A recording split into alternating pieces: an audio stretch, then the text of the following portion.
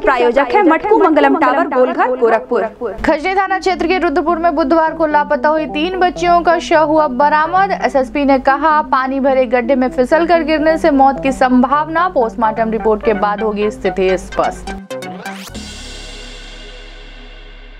लखनऊ से मुख्यमंत्री योगी आदित्यनाथ और राज्यपाल ने किया निकाय प्रतिनिधियों से वर्चुअल संवाद की अपील। कहा, नगर निकाय में संचालित किसी एक पीएससी सीएचसी या हेल्थ एंड वेलनेस सेंटर को गोद ले पार्षद।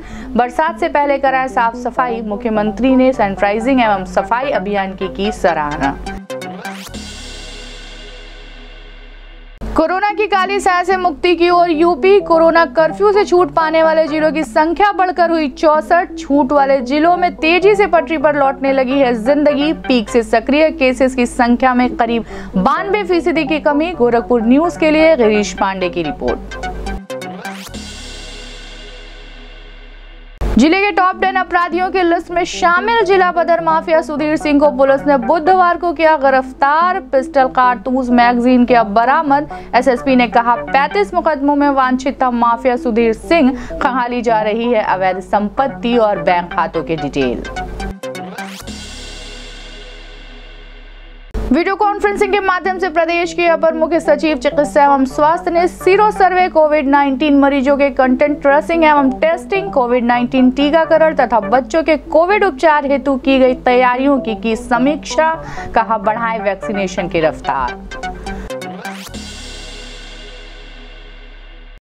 पीपीगंज थाना क्षेत्र में शादी समारोह में बार बालाओं के साथ अश्लील डांस करते सपा नेता का वीडियो वायरल। एसएसपी ने कहा, कोविड अधिनियम महामारी के तहत होगा मुकदमा, दर्ज होगी कार्यवाही।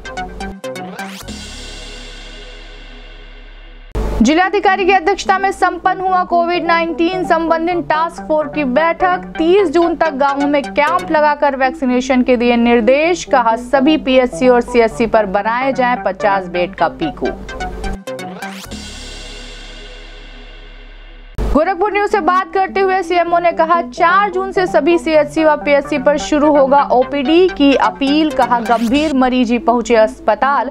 शेष मरीज़ टेलीमेडिसिन से ले परामर्श, कोविड प्रोटोकॉल का करे पालन।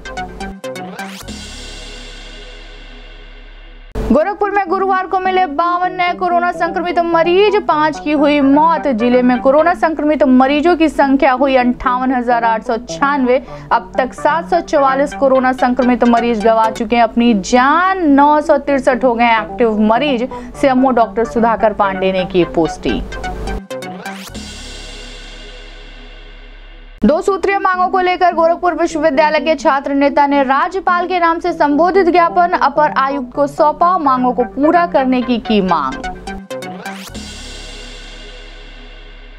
गुरुवार को जनपद में जिला अस्पताल सहित चौहत्तर बूथों पर दस हज़ार छह सौ तिरासी लोगों का किया गया वैक्सीनेशन, सीएमओ ने कहा, कोविशील्ड लगवाने वाले लोगों को चौरासी दिन बाद दिया जाएगा दूसरा डोज, कोरोना से बचने के लिए आवश्यक कराएँ टीकाकरण।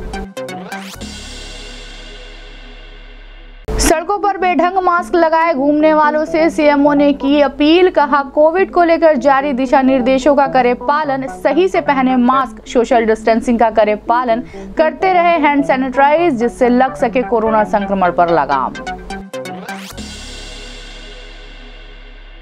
और कोरोना संक्रमण पर प्रभावी लगाम लगाने के लिए लगाया गया आंशिक कोरोना कर्फ्यू का पुलिस करा रही है पालन। एसपी सिटी और एसएसपी ने लोगों से की अपील, कहा, करे कोरोना प्रोटोकॉल का पालन, घर में रहें, सुरक्षित रहें।